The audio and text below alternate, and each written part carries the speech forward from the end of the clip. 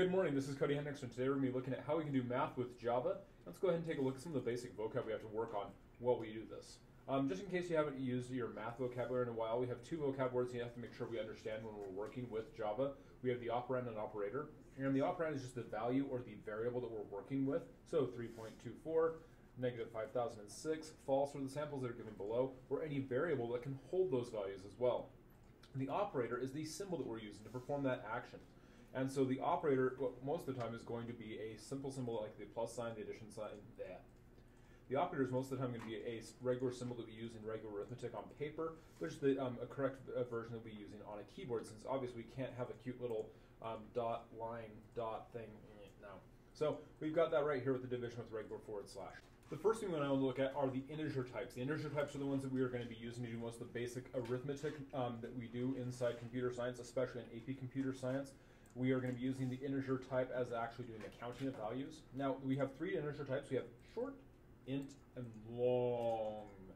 Now, shorts exist. They're, they're there, but don't use them. They're basically too short to be used for anything really valuable 99% of the time, unless you're really, really concerned about memory storage and a very tiny range of values. Use an int. It's standard, it's easier to read, and it makes for better code in the long run. Um, Init type is the main one we'll be using. As you can see right here, it has the range of plus or minus 2 billion. Now, if you're going to be counting something in a computer science application, it's going to be in the range of plus or minus 2 billion. That's, that's the way it is. I mean, counting things, I mean, if you're counting one a second, you're not going to get a billion anyway, so don't worry about it. But we have a value right here, as you can see, of negative um, 2,147,483,648 to the same value, minus 1. The reason we have that minus 1 in there is because of the magic power of 2's complement. Because when we're looking at how we can actually store values in a binary system, we have to find some way of storing that negative um, value. And the way we do that is by taking away the greatest possible max positive value and using that single um, bit to denote that it's a negative. If you want more information, go ahead and Google 2's complement. Lots of good stuff on there. On the long approach, we have an even wider range, aka plus or minus 2 to the 63rd power. Uh, as you can see, that's way too big of a number to bother saying. However, this number is amazing for dealing with Unix time. Oh, yeah, we have to actually keep track of time on a machine and Fibonacci values. And you can see that later on. Now, we also have real values, aka numbers that have a dot. Now, we have the float and the double. Now, most operations that we'll be doing inside the AP subset will use the double value. Float does exist, and you can actually specify float by adding an F at the end of any um, fra uh, fractional or real value, aka value with a decimal on it. But a double value is more often what you'll be using. It's what we use in the AP exam. And having, again, a good, simply a standard, oh, I'm going to be using this range of values makes it really easy to do. So that's why I always use a double value for my code. Um, when we're talking about real values with Java with a double value, with an 8-bit, we have an 8-byte value. So we have a lot of numeric storage capacity. We have 15 digits of precision, also quite nice. And we also have to cover the range of plus or minus 2 to the 10 to the 3808th power. 10 to the 308th power, 10 to the 308th power.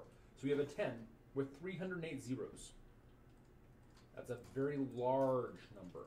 I mean, if you're going to write that out on the board or on your paper, not a good idea. It's gonna. It's. I mean, you're, you're writing too many zeros to bother with. But you also have the real small, it's even deal that the number of atoms in the universe is only about 10 to the 82nd power ish. And we now have a, a range of counting stuff that's 10 to the 308th. Oh, yeah, we're, we're way big that. But we'll talk about that more later. Um, however, one of the really powerful things that we see with a double value is dividing by zero, not a problem. Now, you divide by zero in regular integer math, you get that weird, you know, going positive infinity, negative infinity at the same time, and I, I can't handle this. It's just, it's going to break my computer. it makes an uh, integer, uh, divide by zero exception. Your app crashes. Not what we want to see. But with a, a double division, we get not a number, nan, because it's the representation of both positive and negative infinity at the same time. Pretty cool. And also, if you go out of bounds, you get no exception thrown, you get infinity and negative infinity. Because the idea that with a double, it's like we, we're already dealing with numbers that are ridiculously huge, that are greater than the number of atoms in the universe. So let's make a way of handling things that are beyond huge. And so we have a concept of infinity that we can use inside Java as well. And so you can do some really cool stuff with that. Um, however, we do have overflow. And overflow is when you um, pour into the bucket a bit too much. Now, the bucket itself can be a positive number bucket, or it can be the metric power of a negative number bucket. Now, you, you can subtract too much from something. I know. Seems a little bit weird, but you can do it. Um, with integer um, overflow, if you go beyond the direct range of either plus or negative, and this is all for short, int, and long, it's going to wrap around in the other direction. So if you subtract from integer.min value, you get in the extremely huge number range. If you add to integer.max value, you get the ultra microscopically negative. However, with real numbers in double, it gets a little bit more squishy. Uh, double min value max value are right there. But when you break the bounds, it's a little different. Let's go take a look. So as you can see right here with the example of overflow, um, as we have overflow integer at min value minus 10, so the smallest possible integer value, and minus 10 gives me 2,147,483,638. That's a positive number, because minus, no, uh, yeah. But integer dot max value plus 10, so the biggest possible value is negative 2,147,483,639 overflow. We, we, we poured so much in the bucket that it flips the bucket over and goes in the other direction. Yeah, kind of weird, but that's okay. Now doubles were pretty good. Uh, doubled min value, 4.9 times 10 to the 324th negative. Okay, that's really tiny. Uh, doubled max value, 1.79 times 10 to the 308th. Yeah, um, that's ridiculously huge. Okay, great. Now, double dot max value minus double dot max value, zero.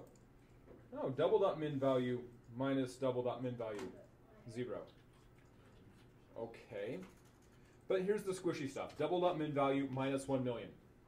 Negative 1 million. The smallest possible value minus a million is negative a million. Yeah, squishy.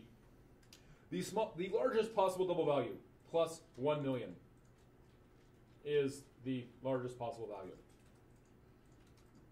Biggest thing plus 1 million is still the biggest thing. What, wait, wait, wait, wait. Double up max value plus double up max value, infinity. Okay. Double up min value plus double up min value. 1 times 10 to the negative 323rd. I, yeah. How about double dot max value plus double dot min value? Double dot max value. Yeah, a little squishy. So when you're talking about overflow, stick with integers. It makes a lot more sense and it's very predictable. Overflow on the double side, uh, mm, yeah. However, when we get to Java, we also have the magic power of PEMDAS. However, notice on the PEMDAS right here, there's an extra M right here in the middle of the screen. Extra M. What? Oh, we have in regular PEMDAS, it's parentheses, exponents, multiplication, division, addition, subtraction. But this is PEMDAS plus. We have to add the uh, regular parens, okay, that's good. We use those all the time in Java. Exponentiation is going to handle the math class. Okay, great, well, no big deal. But in computer science, we have to go back to modulus. Now, modulus we've actually covered and learned way back in third grade when you talk about long division. However, in long division, when you had that little remainder thing that you were, oh crap, I've got this, this, this value that's sitting off to the side that I don't know what to do with. No, no, no.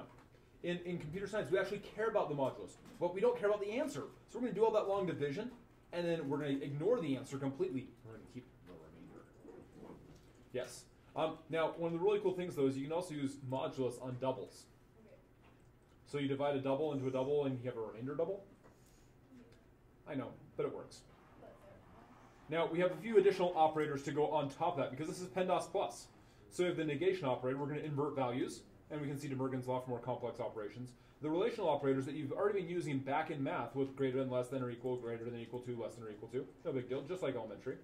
The equality operators that we use for integer values and Boolean values only of equals equals, as well as not equals. We can also work with null.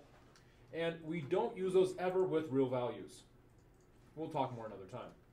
Boolean logic with and and or. Now, let's talk about logical negation. Logical negation is the not operator. We're going to take a true value, turn it to false, or a false value, turn it to true.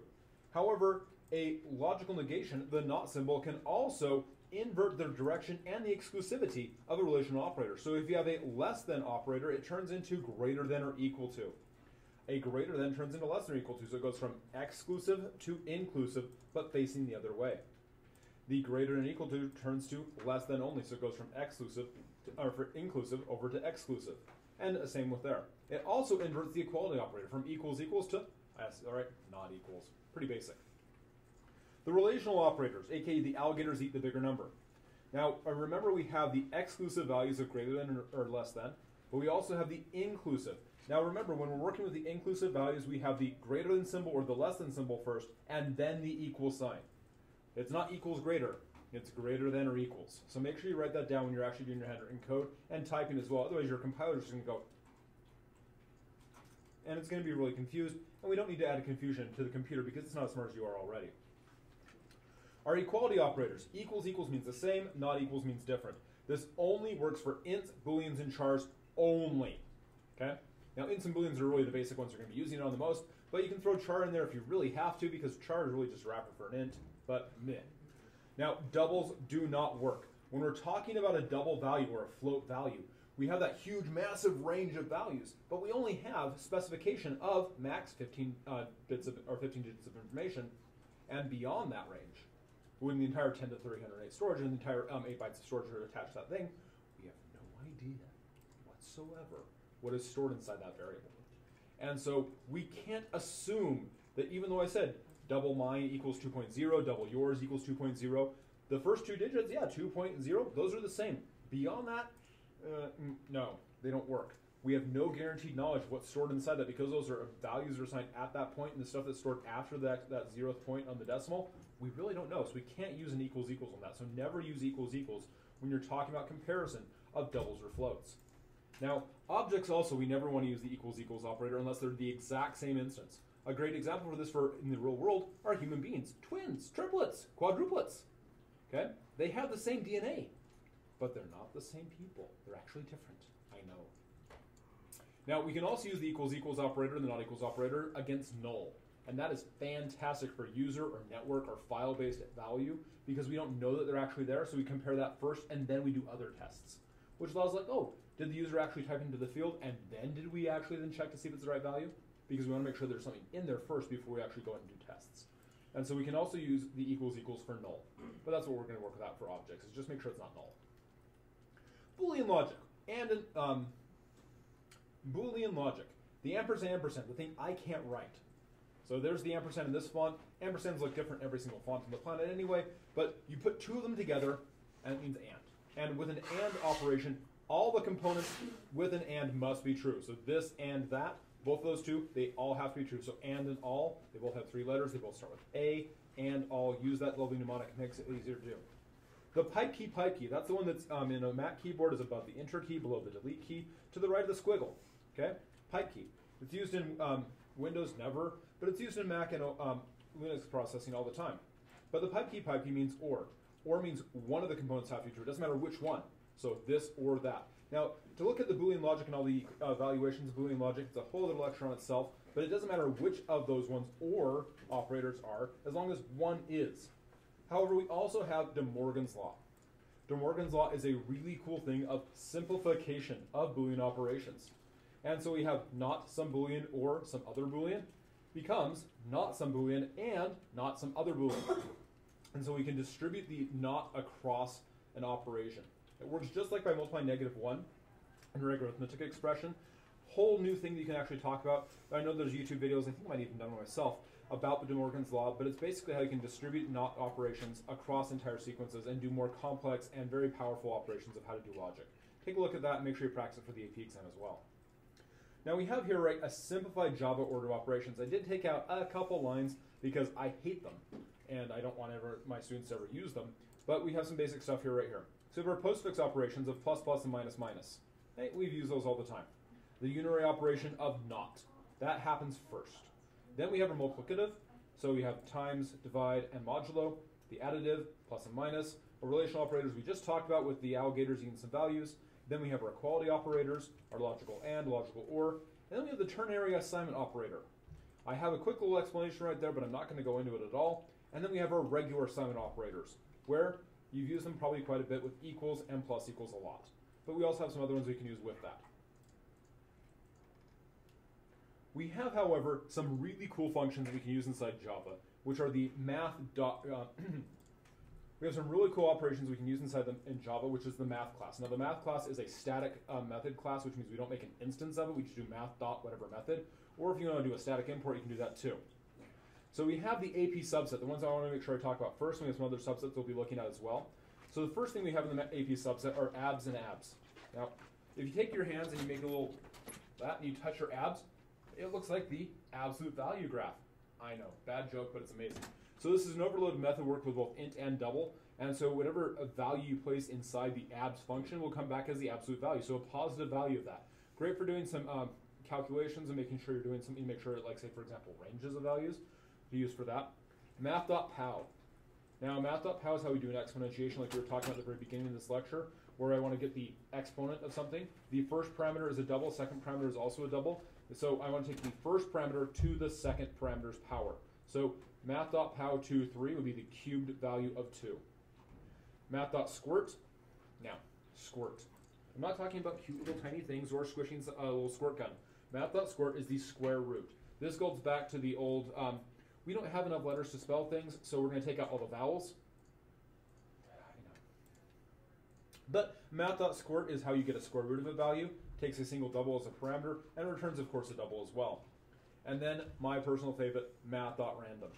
Now math.random, as you know, it takes no parameters. It simply returns a value from 0 inclusive to 1 exclusive. So we have a double value somewhere in that range of 0 up to but not including 1. We can then use some magic conversion and casting to get some range and scale of values.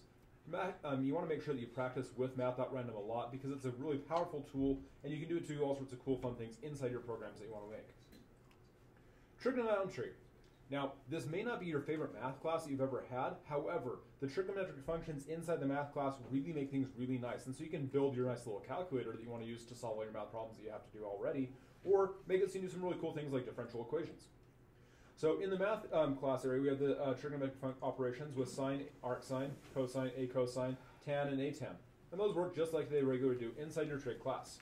However, we also have atan2. atan2 returns the theta value of the arctangent, which is really great if you want to say, for example, calculate the trajectory of a bullet and use that inside a game. Hint, hint. Uh, hypotenuse. Now, for some bizarre reason, inside math, you have to calculate the value of hypotenuse on a regular occasion. So the hypot function takes two double values, squares them, and does the regular, oh, x squared plus y squared equals b squared? You know, that little Pythagorean theorem thingy? Yeah, that's what take care of that for you right there. Um, we have two degrees and two radians, so you have to convert values. Something you really have to do all the time inside regular things, especially if you're doing, say, for example, working with different um, types of functions that want, oh, this type of thing, if you want to make your robot drive in this direction for, say, for example, your first robotics competition, it wants radians for some reason. The two radians function will give you that value. So you can pass in a, a degree, and it'll give you the radians value. Yeah.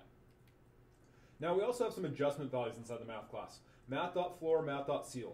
These will give you the take a double value and it gets you the up to the next value. So math.floor will take you down to the bottom value. Math.ceil gives you the next value. So 3.9 becomes 4, and 3.9 with the uh, 3.9 with the ceil becomes floor, and 3.9 with a floor becomes 3. So whoop, or whoop. nice way to see what would be the value of, say, for example, you're going to do a round operation, or if you want to do a convert to an um, integer. We also have the two logarithmic functions, log and log base 10. So these are great if you're, say, for example, again, working on your calculus projects and need to make sure you do your stuff. Log and log base 10 can make your life really nice. We have, however, another set of really cool things, the comparison operations. These are great for when you want to do, say, for example, some relationship or see if which one is bigger or um, smaller and do that over time. And so you have math.max and math.min. These are overloaded to work with all the um, numeric data types. So short, even, um, double, long, float, int, yeah, all that. So you have math.max, math.min, and it will return the greater of the two values. And you can chain these together. If you want to take a good look at that, look at the trio question on the AP exam a couple years ago. Great way you can actually use math.max and math.min to solve some great problems. That's all we have for today. Hope you have a great day and enjoy practicing with your Java and doing some math in it. Enjoy.